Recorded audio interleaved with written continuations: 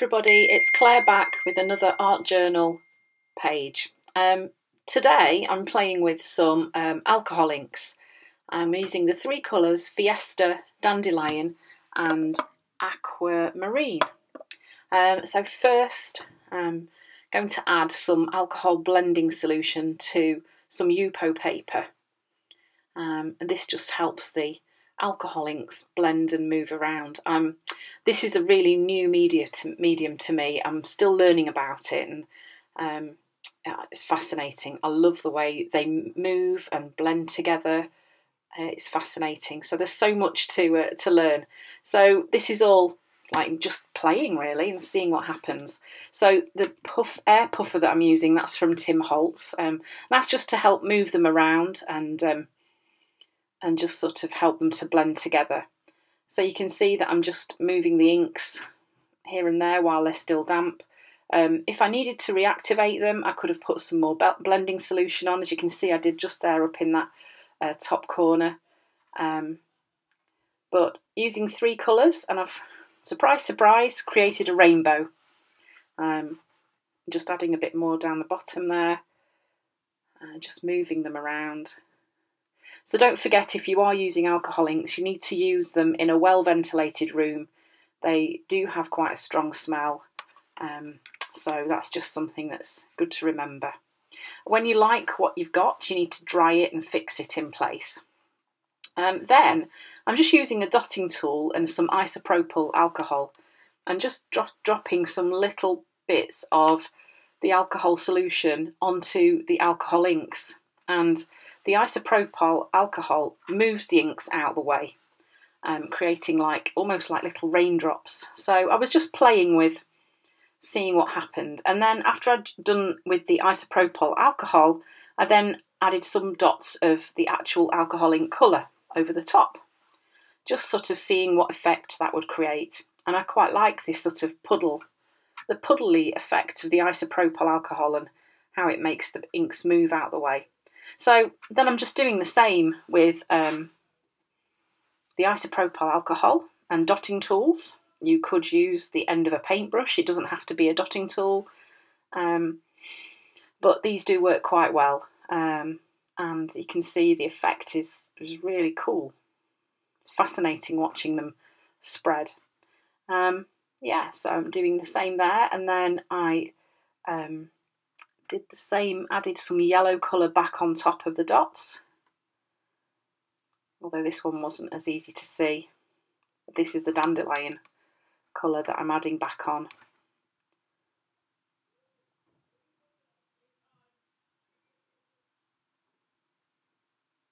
So you can expect lots more uh, videos from me playing with alcohol inks. Um, I want to find lots of ways to use them in my art journal. Um, so uh, that's a heads up about where I'll be heading with alcohol inks. There'll probably be more videos of this. Um, and here we are, I'm just doing the same again in another place on the page. Um, and then, so initially using the isopropyl alcohol, and then I will be adding some dots of colour over the top.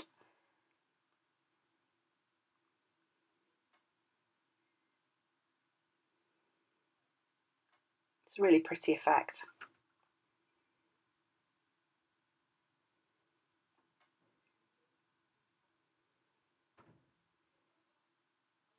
Yeah, and now I'm just adding some of the Fiesta colour back on top of the places where I have moved the ink out the way with the alcohol solution.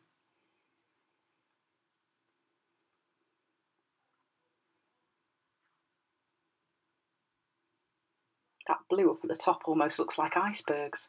And here I'm just using a really small fan brush and I was gently tap I put it in the isopropyl alcohol and gently tapped it onto the page, creating more little dots.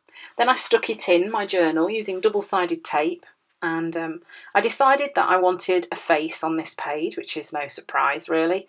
Um, and but I didn't want to cover up what was there, so I decided I would draw a face onto acetate. So I sketched out what I wanted to draw first onto this piece of rough paper and then drew over it using the Jane Davenport um, ink pen. This is the one that um, when it dries it's waterproof. Then I cut it out and I just taped it into my journal using a couple of pieces of washi tape. I loved the background so much, I didn't want to hide it by sticking things over the top, but I still wanted to have that focal image on the page. Then these letters are from Scrap FX. They are one of their transparencies, and um, this is where I'm going to really mess with your heads. I was looking for the letters courage, but because I've already used some of the letters, I didn't have all the ones that I wanted, but I knew that I could alter some of these ones to um, make the letters say what I wanted. There we go, sorted. Um, then I stuck those in just using a little bit of um, gel matte medium, which will dry clear, so you won't see that once it's dry. And then wrote my quote around the face. Um, so you could still see the background through the face and you could lift the face out the way to see the nice alcohol ink background as well. I found it was really easy to write on top of the alcohol inks, so I shall be experimenting and seeing what else you can do over the top in other videos. So, courage is what it takes to stand up and speak. It is also what it takes to sit and listen and that was Winston Churchill. And then just a little bit of text stamping onto the face, and there it is. Final page with another rainbow.